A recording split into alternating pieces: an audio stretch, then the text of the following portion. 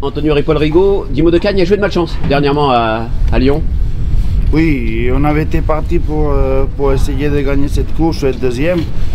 Et le cheval il était parfait. Dans le dernier virage, à l'heure de venir, euh, bah, il y a eu un carambolage et bah, voilà. Avant, il avait bien couru à Vincennes dans un lot similaire. Exact, euh, exactement. Là, on rend 25 mètres, mais c'est 2850. Euh, on aura un peu plus de temps pour attraper les autres. Quand il est bien, rien ne le dérange. Non, il peut tout faire. Et comment vous l'abordez alors cette course? Euh, je, je- je trouve qu'il y a des chevaux quand même qui courent ferré, qui j'ai l'impression que c'est pour, euh, pour préparer les autres courses. Alors hein, ça, ça, ça nous enlève déjà certains, euh, certains bons chevaux que- qui peuvent nous battre.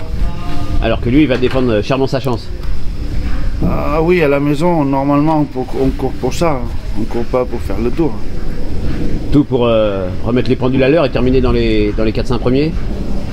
Ah, je serais content d'être dans les cinq premiers. Je pense que si la course se déroule euh, un petit peu mieux que le, le- quintet du 1er janvier, que même qu'on était quatrième, euh, la course a été compliquée à gérer, bah, on peut être dans les cinq, je pense. Et en plus, il était quatrième tout près des premiers. Exactement, il avait très bien fini, c'était rentré. et- mais mais c'est un cheval que ferait, il court bien.